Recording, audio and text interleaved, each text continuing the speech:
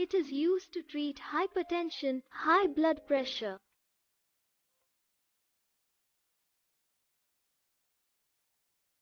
Amlodipine and ramipril works by relaxing blood vessels so that blood flows more smoothly and the heart can pump blood more efficiently.